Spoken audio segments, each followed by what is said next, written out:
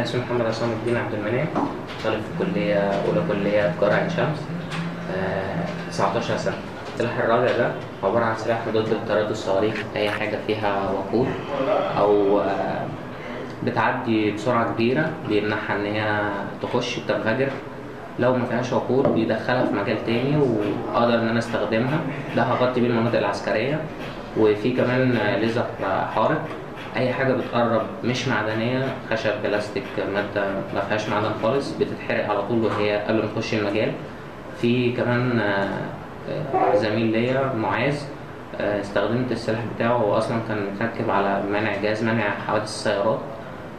ده هستخدمه إن أنا أقلل سرعة الحاجة اللي هتيجي لو هي جاية بسرعة كبيرة جدا أو فاقد في المستقبل السرعة المعتادة الموجوده دلوقتي. عرضته على وزارة الدفاع وعملت له طلب براءة اختراع. لسه الطلب شغال دلوقتي. آه لسه الوزارة ما ردتش. إن شاء الله هترد. رحت بيه وزارة الإنتاج الحربي قالوا لي لازم أخلص ال- ال- البراءة وأتأكد إن إن هو قابل للتنفيذ. ولازم وزارة الدفاع هي اللي تعمل طلب رسمي في ترشيح بتاع وكالة أبولو ده عشان آه، أعمل تجربة بره. ده محتاج تصويت. لو أنا طلعت الأول في التصويت ده إن شاء الله أسافر آه، الفضاء أعمل تجربة. التجربة اللي أنا عايز أعملها إن أنا أوصل لوسيلة مواصلات سرعتها تساوي سرعة الضوء. أو ممكن تزيد عن سرعة العلاج بالأشعة.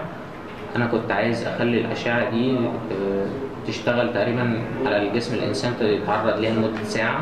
تشفيه تماما منه وتعالج الأماكن الخبيثة كمان بس آه، كان في جزء هو اللي أنا ما قدرتش أنفذه لأن التكلفة بتاعته وتابعته مع مستشفى 57 لسه بوصل فيه بحاول أوصل فيه النتائج لو طلعت النتائج آه، مظبوطة إن شاء الله أعمل له طلب براءة أنا طموحي إن أنا أبقى رئيس جمهورية إن شاء الله آه، وأنا عندي 40 سنة إن شاء الله.